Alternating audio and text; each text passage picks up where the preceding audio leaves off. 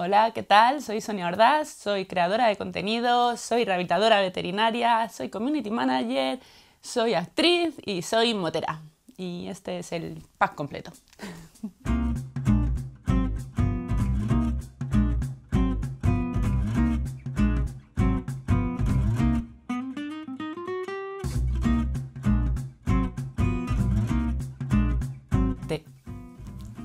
No bebo alcohol. Calor. Rap. Snowboard. Mm, Playa. Perro. Cine. Fiesta. Ruta en viaje. Viaje en ruta.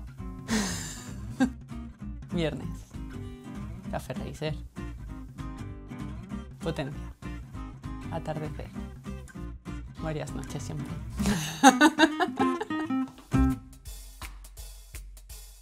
tengo una perrita o una perrota más bien, porque son 27 kilos de perro, que se llama Sombra. Es un pastor alemán con labrador, muy bonita y muy cariñosa.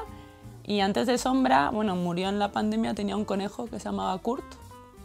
Y antes de Kurt y Sombra tuve a Nala, que fue mi primera perrita. Me la regalaron con 6 años y vivió 19 años. Ah. Veterinaria era lo que había querido ser siempre desde pequeñita. Que te decían, ¿qué quieres ser de mayor? Veterinaria. ¿Qué pasa? Que un día jugando con un gato me, se me puso en los ojos como tomates y regalo, alergia a los gatos. Entonces, esto pasó como con siete años u ocho. Pues veterinaria ya no puede ser, tienes que pensar otra cosa que quieras hacer en tu vida. Entonces lo descarté y en algún momento dije, oye, pero si me puedo vacunar, si la alergia tampoco es para tanto, ¿no? Y pues para adelante.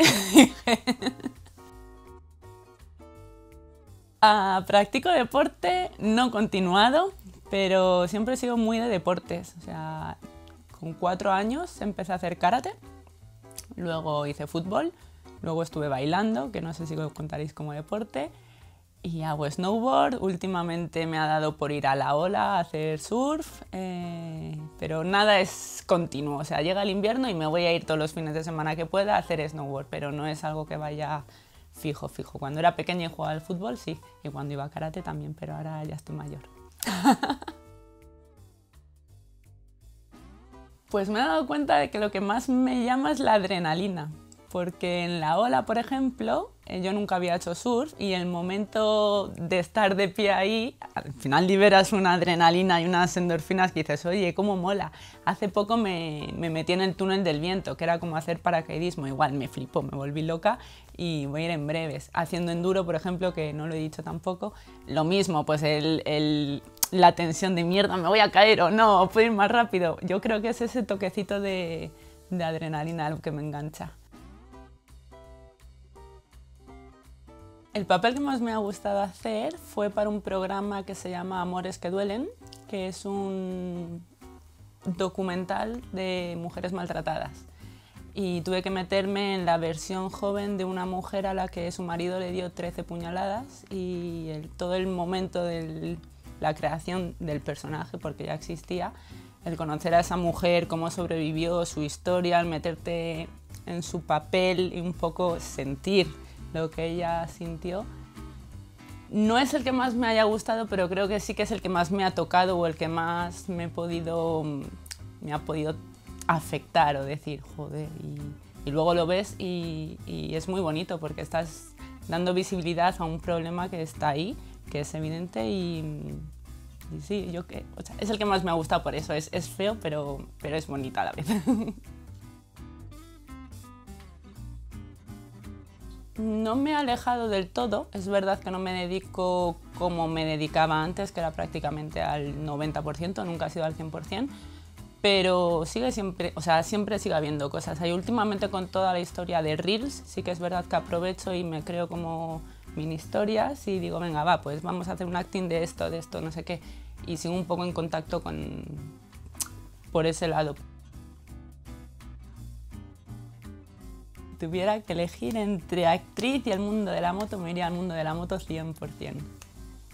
súper claro. Me gusta mucho el, arte dramático y la farándula, por así decirlo, pero me siento mucho más cómoda y mucho más viva en, en la moto. Estoy, estoy, es, es mi salsa, 100%. Ahora mismo yo creo que es community manager, porque me gusta mucho, o sea, aparte de que me gusta crear contenido, independientemente de sea para mí o para otras marcas u otras personas, me gusta mucho el, pensar que le puede gustar a la gente y, y, el estar en contacto. O sea, siempre he sido una persona muy social y yo creo que, que las redes sociales me han venido como, como anillo al dedo por eso.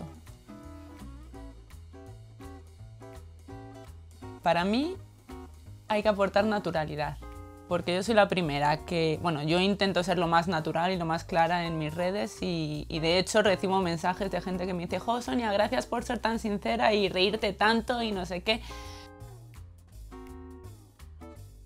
Pues creo que depende cómo de atrevido seas. Eh, si estás viviendo en casa de tus padres y no tienes una factura que pagar, te puede dar para vivir, claro. Eh, a la que quieras ser una persona normal y vivir por tu cuenta y ser independiente, requiere, ¿te da para vivir? Sí, pero requiere mucho trabajo, mucha constancia y no es estable. Llevo las redes sociales de Triumph, soy la community manager de Triumph. Hola. La vida de influencer. no tengo vida de influencer. No. Lo llevo maravilloso, entonces, porque es verdad que tengo oportunidad a... Tengo acceso a cosas, eh, pues a probar motos, a probar coches también, por ejemplo, o a ir a determinados eventos que otra gente no puede. O, oye Sonia, pues te vamos a mandar este casco, te vamos a mandar esta chaqueta. Que al final son cosas que, que joder, a todo el mundo le gusta, ¿no? Entonces, pues lo llevo bien, ¿cómo lo voy a llevar?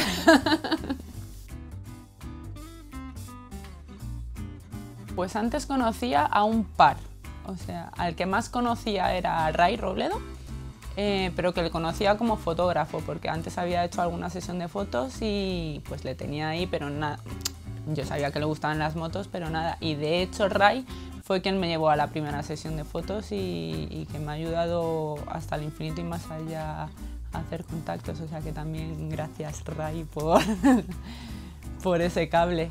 Y, también conocía a Bea Guirán, por ejemplo. A Bea sí que la seguía y, era como, oye, joder, qué guay esta chica, ¿no? Cómo mola su trabajo, un día yo quiero ser como ella.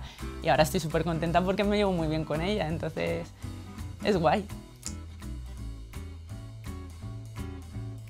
Pues con Dani hemos, bueno, hemos, hablo en tercera persona, con Dani he hecho una serie de reels para Triumph, que cogimos las dos Scramblers, porque nunca había contenido de las dos Scramblers juntas y dijimos, oye, pues yo creo que esto puede ser una buena idea. Y nos pegamos una ruta ahí a la montaña y hicimos una serie de cinco reels que quedaron bastante, bastante chulos. Y además, lo que dices, tenemos cosas en común, los dos somos súper rockeros, eh, muy buen rollo siempre y muy guay, han quedado muy chulos. Esto es raro porque normalmente la gente dice, pues mi padre o mi tío o mi no sé quién era motero y desde pequeño me lo inculcó. Yo no he tenido a nadie motero alrededor, eh, no sé, por algún motivo de pequeña me empezó a gustar MotoGP y me despertaba los fines de semana para ver MotoGP y era lo único que me sacaba de la cama porque si no me quedaba ahí a tope durmiendo. Moto fue con 25 años, mi autorregalo. Dije, oye, mm, los 25 son especiales, ¿qué me puedo comprar? Una moto de 125. Y ese fue. Pues tengo una Triumph Street Scrambler, color turquesa, muy bonita. Ahora mismo, y va a ser una respuesta que os va a sorprender, pero ahora mismo me quedaría con la Trident. Es una moto pequeñita, no es la, ni la más rápida ni la más potente del mercado, pero me siento súper cómoda con ella. O sea, voy de ruta y de verdad que es como si me, la hubieran pegado al cuerpo y me pongo a tumbar y voy súper rápido y voy súper, súper confiada. de hecho, eh, no es broma que llevo un, un, tiempo dándole vueltas en plan y si cuando termine de pagar la mía me meto en una Trident, luego pienso, pues si no necesitas otra moto. Y luego me dice el otro lado, pero oye, dos tampoco está tan mal.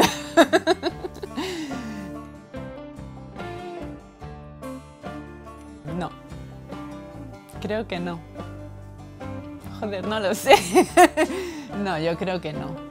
No, porque la gente es verdad que me ve súper segura de mí misma, pero en realidad soy un saco de inseguridades y yo creo que si a la Sonia de, yo qué sé, me voy a inventar, 16 años, le preguntas, oye Sonia, ¿tú crees que en unos años va a haber tanta gente siguiéndote en algo que se va a llamar redes sociales? Yo diría que ni de coña. no. pero estoy muy contenta, o sea, creo que ha sido un camino difícil y de momento estoy contenta con el resultado. Espero seguir creciendo. Si el año que viene sigo estancada, por favor, dadme un punch también, un empujoncito. Pues no le diría nada, porque creo que si le dijera algo para cambiar no sería quien soy ahora. Así que si las cosas han pasado como han pasado, por algo será, ¿no? Diría salud para toda la gente que quiero, eso lo primero seguro. ¿Vale? Deseos infinitos. Me pediría, si no me dieran los infinitos, pediría eh, poder teletransportarme y volar. Me fliparía. Y más desde que he hecho lo del túnel del viento. Pues que muchísimas gracias, lo primerísimo de todo. Em, porque normalmente la gente te escribe y cuando les contestas te dicen como, oye, gracias por contestar, por tomarte tiempo. Y es como, joder, ¿cómo no te voy a contestar? O sea, si en realidad ellos como, ellos como que te idolatran, no es idolatrar, pero como que te tienen una especie de pedestal y en realidad no son conscientes de que tú no estarías ahí si no fuera por todos ellos. O sea, si no fuera, ahora mismo hace poquito llegó a los 40.000 seguidores, si no fuera por esas 40.000 personas que están día a día aguantando mis chapas y dándome like ahí y todo, pues yo no podría seguir creciendo. Entonces, mm, que menos que enormísimas gracias. Eh, creo que es lo más sincero y lo más justo para todos y que espero no darles mucho la turra porque sé que hay veces que me lío aquí, mi, mi, mi, mi. pero si se las doy pues ya se habrán ido seguro.